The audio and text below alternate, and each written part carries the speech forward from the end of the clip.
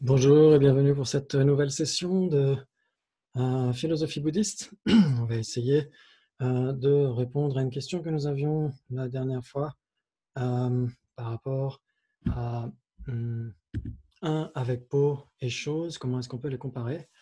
Donc on va essayer de voir ça aujourd'hui. Très bien.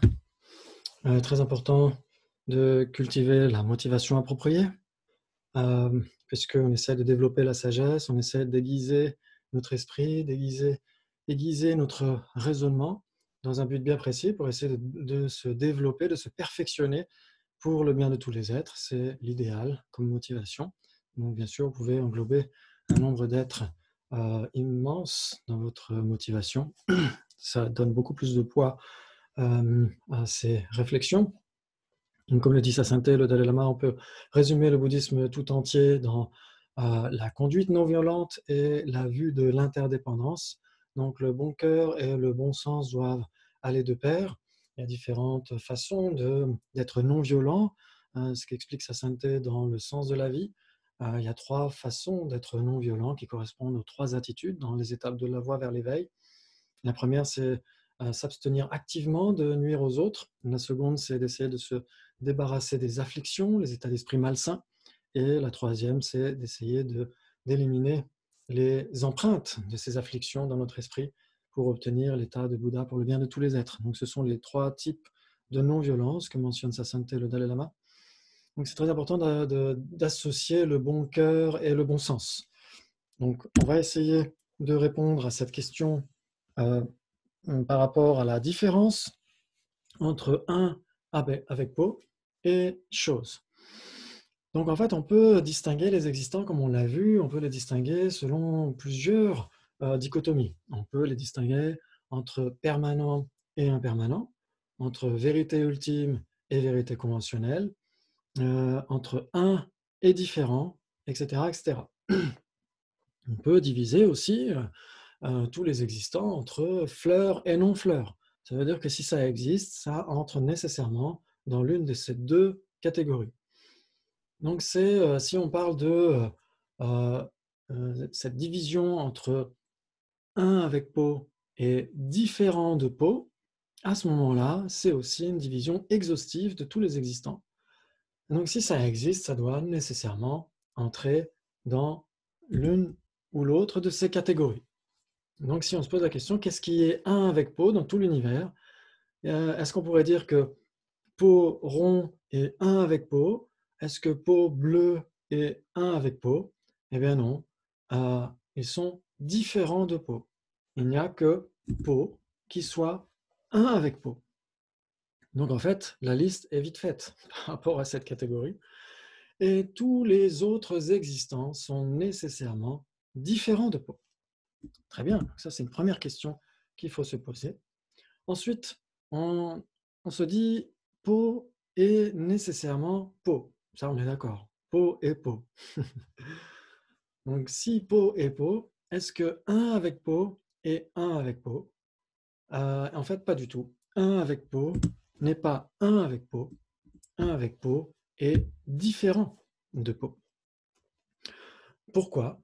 Euh, Parce qu'en fait, on avait vu une dernière fois que la définition de différence, c'est euh, ces phénomènes qui sont divers ou phénomènes divers. Et on avait vu que la diversité, elle peut relever de, euh, du terme lui-même ou de son sens, ou encore des deux à la fois. Et donc, un avec peau est différent de peau, non seulement par le terme, puisque un avec peau, quand on formule un avec peau, c'est différent de peau, il y a trois mots au lieu d'un seul, et le sens de un avec peau est différent de peau. Euh, pourquoi? Parce que peau orange est un pot, peau bleue est un pot, peau en terre est un pot. Donc toutes ces instances sont des pots. Par contre, seul pot est un avec pot, sans le qualifier autrement que par la désignation pot. Pot est un avec pot. Donc euh, ça c'est très intéressant parce que ça nous permet de faire certaines distinctions un peu euh, raffinées. Donc on essaye de voir euh, maintenant la comparaison entre chose et un avec peau. Euh, donc bien sûr, quand on parle de choses, euh, comme d'habitude, chose euh, dans la philosophie bouddhiste, ça veut dire euh, impermanent, ça veut dire chose efficiente, chose produite, etc. Et donc, c'est une généralité, bien sûr. Et donc, est-ce que chose est une avec peau Eh bien, non plus. Elle est différente par rapport à la désignation et par rapport au sens. Chose inclut beaucoup plus de choses que peau. Donc, chose est différente de peau. Maintenant qu'on a vu ça, chose est différente de peau, est-ce qu'elle est contradictoire avec peau pour autant? Euh, C'est ce qu'on va essayer de voir maintenant. Quelle différence y a-t-il entre un avec peau et chose? Vous avez les deux en lice. Ici, on va essayer de les comparer. Qu'est-ce qui pourrait être les deux? Eh bien, on a peau. Peau et un avec peau, comme on vient de le voir. Et c'est une chose. C'est une chose produite. Très bien.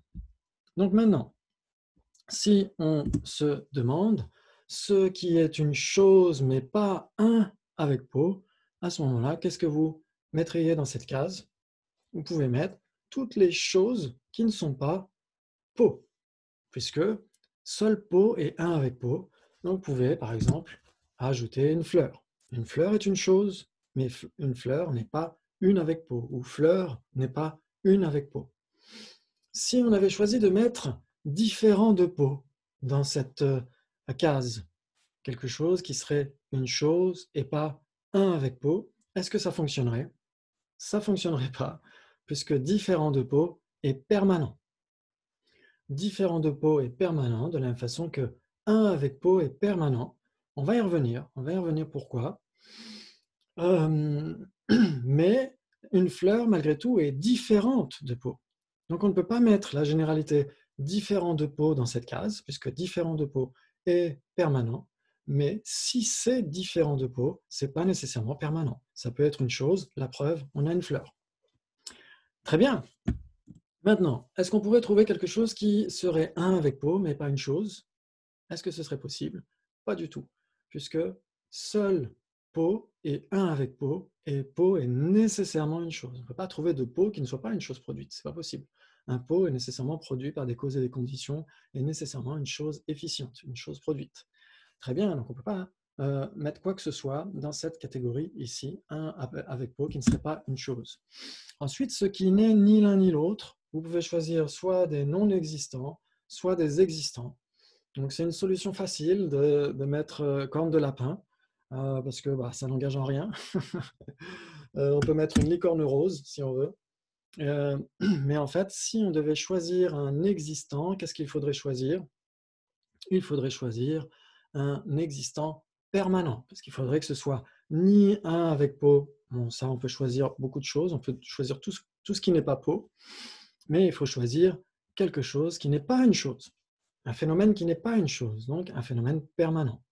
Et donc on pourrait à ce moment-là mettre la généralité différent de peau. Pourquoi pas? Puisque différent de peau n'est pas un avec peau et différent de peau est permanent. Donc ce n'est pas une chose. Très bien. On pourrait même, si vous voulez, la petite cerise sur le gâteau, on pourrait mettre de manière assez ironique dans cette case de ce qui n'est ni un avec peau, ni chose, on pourrait mettre un avec peau. Un avec peau n'est pas un avec peau. Un avec peau est différent de peau. Voilà, ça c'est génial. Très bien. Donc on essaiera de voir la prochaine fois un petit peu plus de débat par rapport aux bases établies, par rapport aux existants, les choses, les personnes, les consciences, etc., pour que vous puissiez essayer euh, de réfléchir à tout ça par vous-même. Et on essaiera de faire en sorte que ça reste un petit peu ludique. Voilà, merci beaucoup. À très vite.